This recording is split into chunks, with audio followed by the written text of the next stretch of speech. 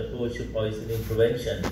Um, um, and I'm going to share with you uh, uh, uh, some of our experiences in managing a, epidemic that was when, we, when Andrew, Professor Andrew Dawson came to Sri Lanka in 2004. So,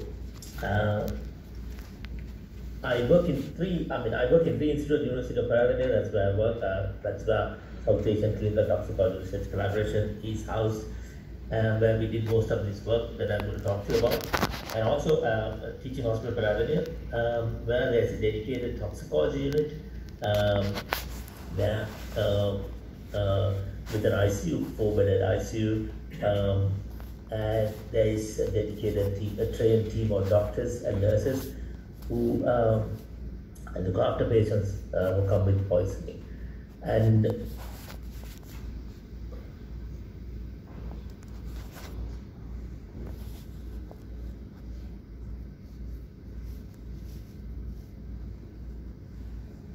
yeah. Thank you. So, uh, before we move on, uh, let's have a look at the, the global uh, story of suicides.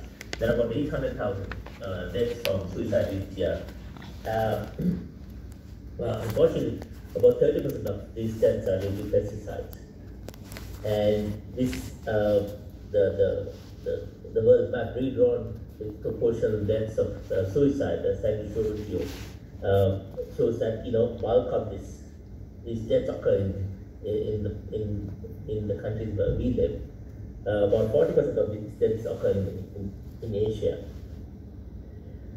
Uh, suicide was always there uh, in this country, uh, but since the Green Revolution, uh, when pesticides were introduced in this country, there was a sharp rise in uh, death from suicide. Um, rates increased to what, 27 per 100,000 population in 1976. Uh, and then there was a steep rise thereafter, and it plateaued uh, to uh, at about 57 deaths uh, per 100,000 population between 1980 and 1995. So clearly the, the, the death rate uh, from poison increased uh, uh, at the onset of the Green Revolution. There were unlimited pesticides were imported to this country. Um, in the 90s, we were actually known as the suicide capital of the world. Uh, we had about 47 uh, deaths per 100,000 population per year. And there were about 24,000 deaths between 1994 and 96 due, due to uh, uh, suicide. And unfortunately, uh, about 80% of these deaths were due to pesticides. So poisoning uh, is synonymous with pesticide poisoning in this country. Now, why is this? Uh, this was uh, one of the latest studies done by our group, and it showed that um, the when somebody wants to commit suicide, the agent was found within the home in most of the instances. Very rare people would go out to shop and buy pesticides or, or or whatever. Um, in majority of the cases, uh, the agent was found within house. And we also found that there's very little planning actually. You know, majority of majority of those who took uh, uh, pesticide or medicine or or a plant poison, you know, planned very little, maybe maybe under an hour. So there's no, you know, majority of them have this intense desire uh, to kill themselves or attempt self-harm, and then you know the agent is found within the house. So I'm sure this would have been discussed in the morning uh, about injury prevention. This is uh, this is the Haddon's matrix of uh, suicide prevention. To prevent injury and suicide, you need to, um, in, especially for suicide prevention, you need to uh, address these three areas. Better treatment, uh, then we should, um, as Andrew mentioned in his talk, we, we control purchase, and we could also store them better, and of course, finally, uh, regulation of pesticides, uh, where we uh, restrict access to highly toxic pesticides in the market. So when, when uh, began its work uh, in 2004, uh, pesticides were imported based on uh, WHO classification uh, of pesticides. There were of, uh, four classes, and these classes, so they were classified according to the rat toxicity, the etiquette of rats. And uh, even before any data was available uh, in the early 90s, uh, some pesticides were banned just because the clinicians who were looking after these patients thought that you know, they could do very little about some of the pesticides. Uh, most patients who took these poisons could not make it to the hospital. They died at home or they died on the way to a hospital. So some physicians uh, who were treating these patients were feeling really helpless and suggested, I think media, use media to uh, uh, uh to uh, propagate this, uh, the toxicity of these pesticides, the idea of, uh, of, of banning these pesticides. And then the government took it upon and banned class one pesticides. And with that, you can see that there was a sharp reduction of, uh, of, of number of suicides in this country soon after the bans. So South, at South Asian Clinical Toxicology collaboration that uh, found in 2004, our vision was to reduce, deaths uh, and illness caused by poisoning, saved by suicide and self-harm in South Asia. And our mission was to establish uh, Sri Lanka as a regional hub for medical research and professional training in toxicology and toxicology. So we started uh, this large cohort uh, uh, of patient database uh, in several uh, provinces, in leading hospitals, uh, and we recruited all these patients who came with the poisoning. And what we found through this data collection was that the WHO classification was actually misrepresentative. Some of the poisons that were labeled, labeled as less toxic were extremely toxic to humans. And we also identified that three pesticides uh, accounted for about 60% of deaths uh, in this study. And then uh, we did a little bit of modeling exercise um, and it showed that if there were no bans, the overall case fatality was 10.3. But if if the bans were uh, introduced and all those patients shifted to uh, a less toxic substitute this toxic pesticide, the case fatality would have been even lesser at a 4.7%, or if they shifted to the highest uh, toxic remaining substitute, it would have been still less at 0.7%. And this data, this data was presented uh, to the Pesticide Technical Advisory Committee, and, and they banned these three pesticides. And what was its effects? These bans, uh, the three pesticide paraquat, dimethoate, fenthion, led to a sharp reduction of uh, uh, pesticide-related deaths in the country.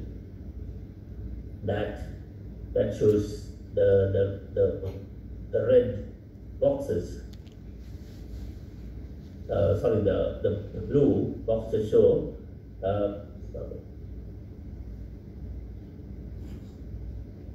That's right. The red boxes show the pesticide suicide rate, and this is when the bans occurred, and you can see that uh, the suicide rate dropped thereafter.